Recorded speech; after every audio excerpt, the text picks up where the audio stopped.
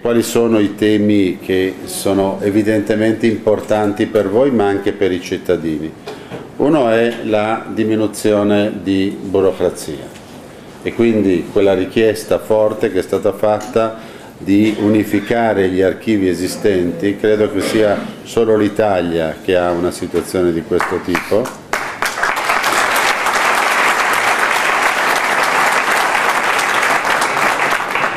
E credo che voglia dire chiaramente lavoro in più per voi e costi in più per i cittadini.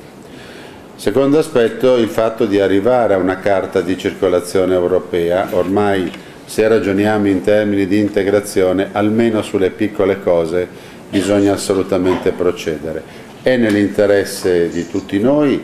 quali cittadini, vuol dire far scomparire costi non apparenti ma rilevanti, perché eh, a volte non si misura il tempo che è necessario per fare delle pratiche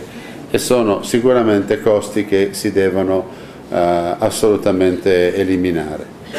Eh, ancora, quando vi è una pressione fiscale eh, che non è compresa ma comunque che cresce oltre misura il gettito diminuisce. Il Superbollo ha dimostrato questo, se io guardo i dati della provincia di Milano, non voglio annoiarvi su questo dandovi dei dati ma credo che voi lo comprendiate meglio di me, è chiaro perché l'avete vissuto, eh, più cresce una tassazione va a finire che quel tipo di auto non eh, viene più eh, considerata oppure si paga una sola tassa su due auto, una se la si lascia in garage oppure ancora si trovano formule elusive eh, per quanto riguarda l'utilizzo di queste auto. Anche qui, e termino, bisogna anche prendere alcuni spunti dall'Europa positivi vengono, poi non è che questa Europa ci piaccia al 100%, ma alcuni spunti positivi vengono, sta anche a noi cercare di essere